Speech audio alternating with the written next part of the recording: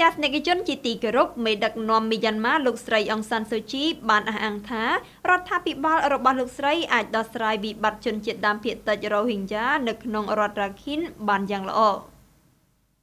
មេដឹកនាំមីយ៉ាន់ម៉ាលោកស្រីអ៊ុងសានស៊ូជីនៅថ្ងៃប្រហ័សសប្តាហ៍នេះបាននិយាយថារ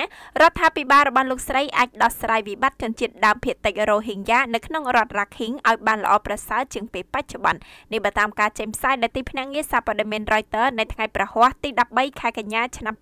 2018លោកស្រីស៊ូជីធ្វើការកត់សម្គាល់បែបនេះនៅឱកាសចូលរួមក្នុងវេទិកាសេដ្ឋកិច្ចពិភពលោកស្ដីពីអាស៊ាននៅក្នុងទីក្រុងហាណូយប្រទេសវៀតណាមថ្លែងនៅឱកាសនោះលោកស្រីស៊ូជីបានគូបញ្ជាក់យ៉ាងយ៉ាងដូចនេះថាយើងកំពុងស្ថិតនៅលើផ្លូវយ៉ាងយល់ច្បាស់អំពីស្ថានភាពដែលកំពុងកើតឡើងហើយស្ថានភាពទាំងនេះនឹងត្រូវបានដោះស្រាយយ៉ាងល្អប្រសើរប៉ុន្តែយើងនៅតែជឿជាក់ថាក្នុងគោលបំណងរក្សាស្ថានភាពនិងស្ថិរភាពយើងបានធ្វើអ្វីអ្វីគ្រប់បែបយ៉ាងដោយស្មារតីចំពោះរដ្ឋភាគីទាំងអស់ហើយយើងមិនអាចជ្រើសរើសថាអ្នកនេះឬអ្នកនោះត្រូវតែត្រូវបានការពារដោយច្បាស់នោះទេក៏ជម្រាបថាជនជាតិដើមភាគតិចរ៉ូហីងយ៉ា7សែននាក់ត្រូវបានគេរាយការណ៍ថាបានរត់ចេញពីរដ្ឋរ៉ាខិនទៅកាន់ប្រទេសបង់ក្លាដេសចាប់តាំងតែអំពើហិង្សាផ្ទុះឡើងកាលពីឆ្នាំ